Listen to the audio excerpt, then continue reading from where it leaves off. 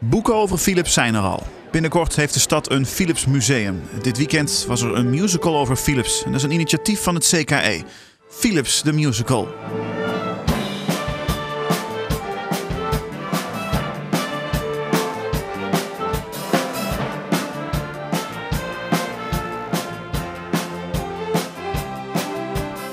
De cast bestond uit kinderen, jongeren en volwassenen. Allemaal uit Eindhoven. De een had wat meer podiumervaring dan de ander. De een had dus ook wat meer last van zenuwen dan de ander. Nu helemaal niet, helemaal niet. Ik denk voor de voorstelling, een paar seconden voor de voorstelling wel een beetje, net zoals gisteren, maar nu nog niet. Wat maakt het zo spannend? Gewoon als je in het publiek kijkt, dan zie je allemaal mensen en dan denk je van wauw.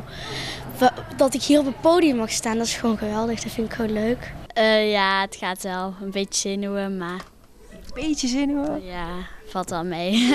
en bij jou, hoe zit de spanning bij jou? Nou, ik heb het nog niet echt heel erg. Maar meestal de vijf minuten van tevoren, dan, uh, dan krijg ik wel kriebels in mijn buik. In de musical werden vier periodes uit de Philips geschiedenis opgevoerd. Er was niet echt een hoofdrol, dus geen Anton en geen Frits. Maar er waren wel een hoop kleinere rollen. Ik ben onder andere uh, een, iemand die kat kwaad uithaalt, is de Rotjoch eigenlijk. En ik ben een, uh, ja, gewoon een broertje en een gewoon normaal kind eigenlijk.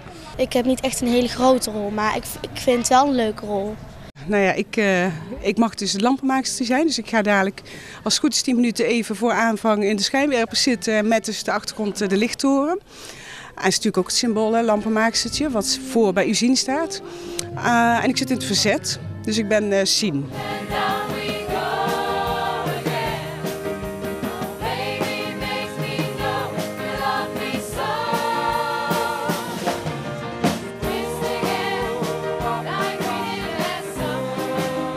Uh, ik vond het wel leuk. Uh, heel luchtig, heel uh, makkelijk toegankelijk en heel speels. Ja, hartstikke leuk. Ja. Heel herkenbaar ook. Ja, die tijden die door elkaar heen lopen.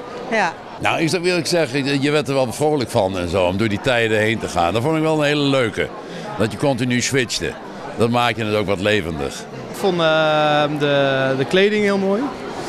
En ja, de muziek was ook heel goed, vond ik. Ja. Ik heb zelf ruim 40 jaar bij de lampenfabriek gewerkt. Dus ik probeerde ze nu en dan er doorheen te kijken en denk ja, met de, kennis, met de kennis van nu is het nog niet eens zo gek gearrangeerd. De organisatie had vooraf informatie ingewonnen bij oud-Philips-topman Wisse Dekker. Hij was dan ook de hoofdgast bij de première. Ik vind, ik moet het echt zeggen, ik vind het fantastisch. Ik ben erg blij dat dit gebeurt.